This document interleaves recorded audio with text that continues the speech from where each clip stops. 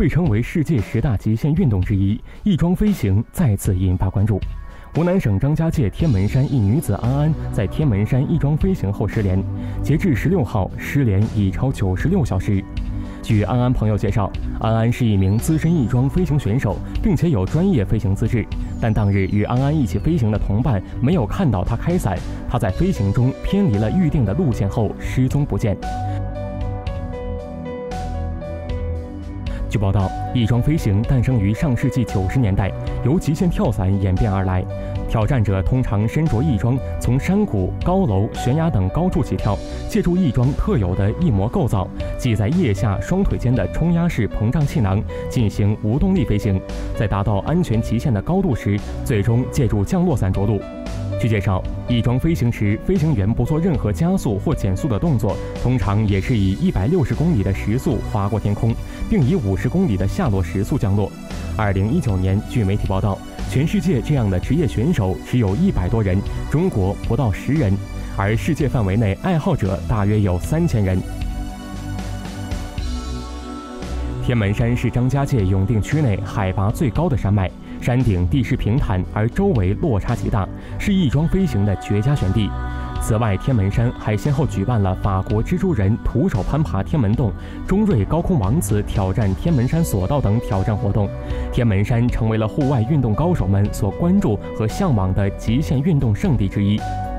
二零一二年。世界各地翼装飞行爱好者在张家界天门山成立了世界翼装联盟，并举行了首届翼装飞行世界锦标赛。随后每年秋季在此举行一届。二零一三年十月八号，参加第二届世界翼装飞行锦标赛的匈牙利选手在天门山国家森林公园试飞时，降落伞未能打开，不幸坠落山间。二零一七年一月二十六号。有十年经验的加拿大籍翼装飞行运动员，二十八岁的格雷厄姆·迪金森，独自在天门山东线玻璃栈道进行翼装飞行训练时摔亡。翼装飞行的最大魅力在于它能最大限度满足人类对于自由飞翔的梦想，但搜索翼装飞行关键词与之相应的还有百分之三十的死亡率。翼装服饰的创始人也在一九九八年的一次飞行中因失误而丧生。不过，随着装备更完善，死亡率有所降低。据翼装飞行员徐凯曾接受媒体采访时称，其实翼装飞行有很多装备的保障，如备份伞、自动开伞器等，会要求在一千米以上开伞，保证飞行员的安全。此外，也会选择有安全保障前提下才进行，有些天气不允许的时候，宁可取消。另据介绍。翼装飞行的资质需要先有超过二百次的跳伞经验，并取得跳伞证后才能考取，要求非常高。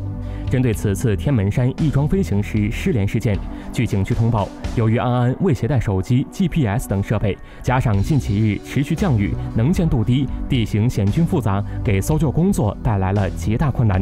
目前，政府相关部门、专业救援团队、摄制组和景区将继续加大搜救力量，持续开展搜救工作。新京报动新闻综合整理报道。